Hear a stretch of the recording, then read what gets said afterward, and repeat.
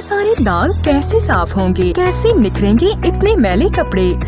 आपकी परेशानी का सिर्फ़ एक ही हल जीनियस क्लीन वॉशिंग पाउडर जो करे अच्छी धुलाई और रंगों की हिफाजत। बिस्मिल्लाम नाजी मैं हूँ आपका मेज़बान गुलाम दस्तगीर। जी नाजरीन आज मैं आपकी मुलाकात जिस शख्सियत से करवाने जा रहा हूँ वो स्टेज आर्टिस्ट हैं और पाकिस्तान का एक मशहूर नाम है हनी जट साहबा। आइए उनसे बात करते हैं उनकी ज़िंदगी के बारे में पूछते हैं और उनके प्रोफेशन के बारे में पूछते हैं कि कैसा एक्सपीरियंस है उनको और कैसी इस लाइफ में सलामकुम मैडम। जी वालेकुम सलाम। कैसी हैं आप? ठीक हैं? बिल्कुल ठीक ठाक अल्लाह का करम अच्छा पीसी वर्ल्ड न्यूज़ पर पहला आपका इंटरव्यू है और स्पेशली हम आपको इंटरव्यू के लिए आए हैं। तो पहले तो ये बताइएगा कि आपका किस शहर से बेसिकली ताल्लुक है? ये फैसलाबाद से। अच्छा फैसलाबाद से आपका ताल्लुक है। तो उसके बाद इस प्रोफेशन में कब से हैं?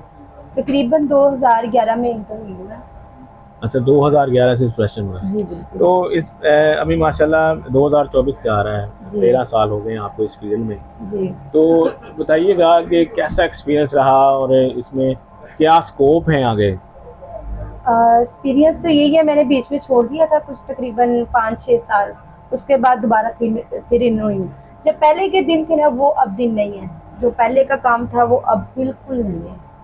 जो हम पहले बिला जिससे हम थिएटर में चले जाते थे अपने काम के लिए अब आते हैं तो पहले हमें डरना पड़ता है इस बात से लेके ना कि हम जाएँगे आगे पता नहीं कैसे लोग होंगे क्या है क्या नहीं।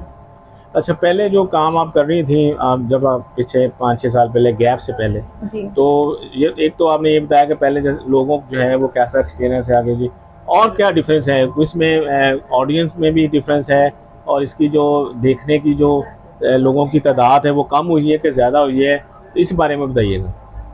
जी देखने के लिए लोग आते हैं इस चीज़ को परफॉर्म को पसंद करते हैं। कुछ कुछ हमारे ड्रामे के अंदर भी कुछ ऐसी बातें और ऐसे ऐसे काम हो जाते हैं जिससे ना मुझे कुछ समझ नहीं आ रही कि ये वो काम रहा ही नहीं है।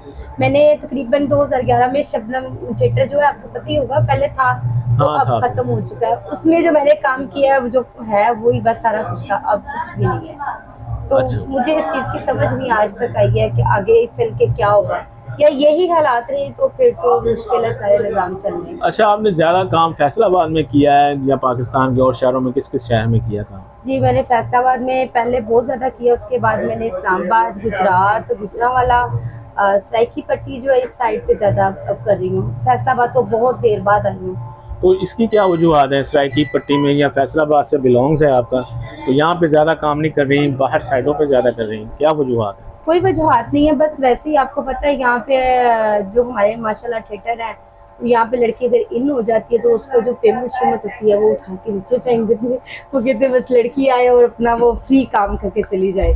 तो ऐसे तो नहीं ना होता। हम लोगों ने इतनी स्ट्रगल करके हम लोग आग- आते हैं कि हम लोग अपना फ्यूचर बनाएँगे, कुछ प्लानिंग करेंगे।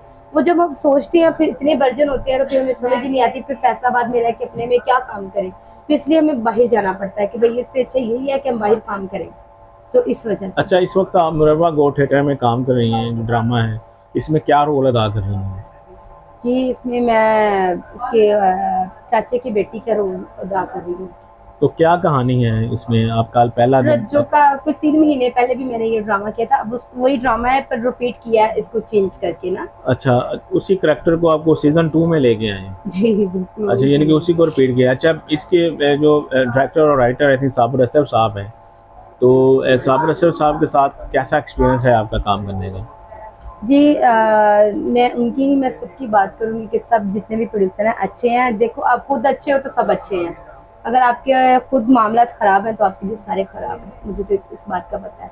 और मैंने 2017 में मैडम नरगस के साथ जब काम किया था मिनरवा थिएटर ऊपर है इसके ना ये साथ ही बल्कि। बिल्कुल साथ उनके साथ मैंने काम किया। उसके बाद मैं काफ़ी अरसे दराज बाद ईद पे इन हुई थी यहाँ पे इसी थिएटर में।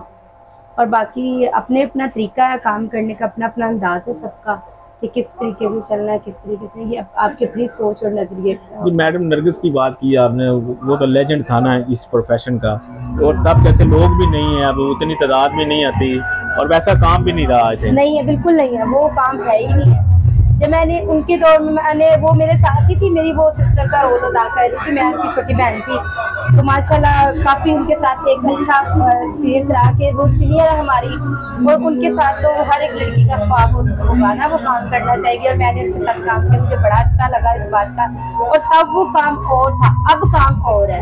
यहाँ पे पब्लिक के हवाले से पब्लिक चेंज हो गई है ड्रामे में हमारे जो डायरेक्टर सारे वो एक्टर हैं, वो सब चेंज हो चुके हैं।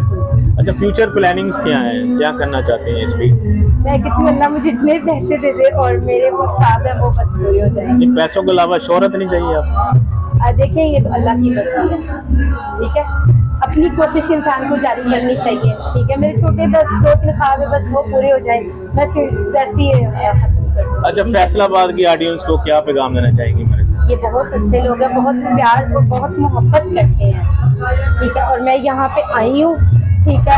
और मुझे बड़ा अच्छा लग रहा है कि ये पब्लिक जो दोबारा वो आती है, मैं आती हूँ, बहुत खुश होते हैं कि वही दोबारा नहीं आगे क्या और मैं भी काफ़ी अर्सा दराज बाद आई हूँ तो मैं खुद मिस कर रही थी कि मैं फैसलाबाद काम करूँ तो फिर दोबारा आ गई जी नाजिर, ये थी मेरे साथ हनी जट साहबा। वो कह रही हैं कि एक तो फैसलाबाद के लोग बड़े अच्छे हैं और यहाँ पे जो है काफ़ी प्यार मिलता है दूसरे उनको दो तीन ख्वाब हैं और वो वो ख्वाबों को पूरा करनी करें। चाह रही है और वो आपसे भी और हमें सभी से कह रही है कि वो मेरे ख्वाब पूरे हो जाए तो मैं हो सकता है ये फ़ील्ड ही छोड़।